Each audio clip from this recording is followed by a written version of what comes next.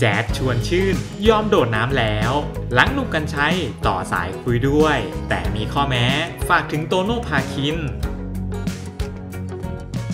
สืบเนื่องจากไวรัลดังในโลกออนไลน์ เมื่อนักร้องนักแสดงหนุ่มโตโน่พาคิน สร้างตำนานบทใหม่อีกแล้ว กับคลิปที่กำลังร้องเพลงอยู่ดีๆ ก็กระโดดน้ำลงกลางสระสงันงานนี้จึงร้อนถึงแจ๊ดชวนชื่น ตลกซุปตาชื่อดังของเมืองไทย ที่แฟนคลับแห่ส่งคลิปไปหาพี่ต้อย ผู้กำกับรายการตลก ให้จับแจ๊สมาแต่ง cover เป็นโตโน่หลังจากที่ก่อนหน้านี้เคย cover เป็นโตโน่แบบเก็บทุกเม็ดทั้งท่าสตาร์ตมอเตอร์ไซค์การสัมภาษณ์สื่อมวลชน หรือสไตล์การร้องเพลงร็อกเหมือนตัวจริงมาเองเลยทีเดียวเชียวจนเหล่าแฟนคลับชื่นชอบแบบสุดๆ ด้านพี่ต้อยก็ไม่รอช้า ต่อสายตรงโทรหาแจ๊สทันที พยายามหวานล้อมให้แจ๊ดโดนน้ำ บอกว่าถ้ากลัวหนาวพี่จะทำน้ำอุ่นให้ ถือว่าช่วยพี่หน่อยทำเพื่อแฟนคลับทุกๆ คน ตอนนี้กระแสใจกำลังมากำลังดัง ซึ่งแจ๊ดชวนชื่นก็บอกว่าไม่เอา แล้วพี่ต้อยก็ตัดบทด้วยการให้แจ๊ดเออออไปด้วย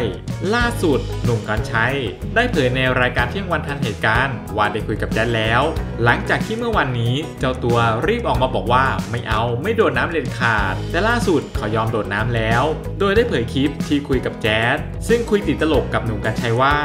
ข้างนอกอากาศเย็นมาก ถ้าผมโดดแล้วบางอย่างผมหดตัวเป็นปี ใช้งานไม่ได้เลย ใครรับผิดชอบ สุดท้ายแจ๊ดบอกว่าผมทำอยู่แล้ว เพราะพี่ต้อยให้ผมทำอยู่แล้ว ทุกวันนี้ผมอยากหลีกเลี่ยง ผมไม่เป็นตัวเองแล้ว เดินไปก็ขอตัวติงเยาวราชหน่อย ขอตัวโน่หน่อยทำให้แล้วกัน ถ้าพี่หนุ่มรู้เบอร์โตโน่ ผมอยากบอกเขาว่า ช่วงนี้ถ้ามีอะไรของเก่าๆทำไปก่อน สักปี 2 ปีไม่ต้องหาอะไรมาเพิ่มแล้ว มันเดือดร้อนผม พยายามระวังตัว อย่าไปทำอะไรเพิ่ม ถ้าโตโน่เป็นวัด ผมต้องเป็นแบบมันด้วยใช่ไหม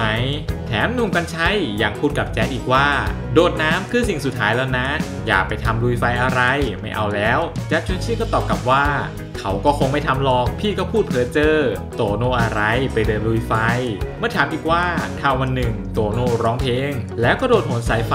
แจ๊ดบอกติดตลกอีกว่า ผมว่าผมคงไม่ทำตามแล้ว ผมจะพาน้องไปหาหมอแล้วนุ่มกอนชัยเลยบอกโตโน่ผ่านในรายการว่า